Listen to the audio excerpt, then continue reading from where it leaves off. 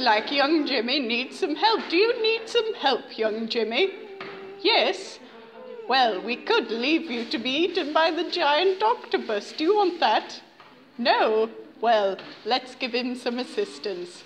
In many cases, a human can escape from the grasp of a small to medium sized octopus just by swimming away. Don't forget to somersault away, Jimmy. Octopi are naturally curious and, if strong enough, will check to see if you are a food item or garbage before letting you go.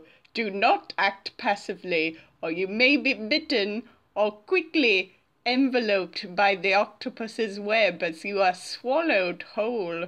Peel the suckers from your body. Using your hands, start at the tip of each octopus arm and remove each successive sucker from your body, like peeling a bath mat. Ha ha ha ha ha. Do not allow the first two octopus's arms to pin your own arms to your sides, or you will have little chance of fighting it off. Go on, Jimmy, fight him off.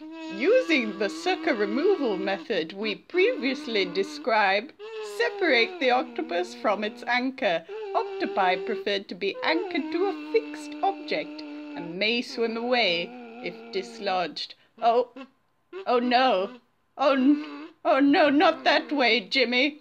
Oh no. Swim towards the surface. Jimmy has done it. Jimmy has defeated the octopus.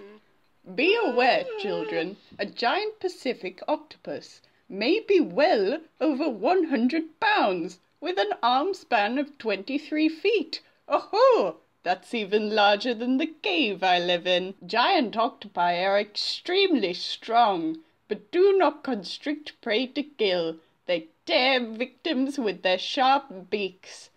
Good thing little Jimmy got to Kazoolu first. Remember these facts and you'll be safe from the giant octopi that linger in the lakes, wherever you tread, and even your nightmares, deep in the slumber of your dreams.